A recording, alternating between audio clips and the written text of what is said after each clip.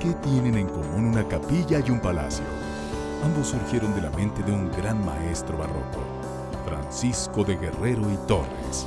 Realmente cambia ese grecado para hacer una forma zigzagueante. Exacto, eso me llama mucho la atención, que está mezclando... El trabajo que usa este arquitecto es único en toda la Nueva España. Conozcamos juntos estas bellezas barrocas.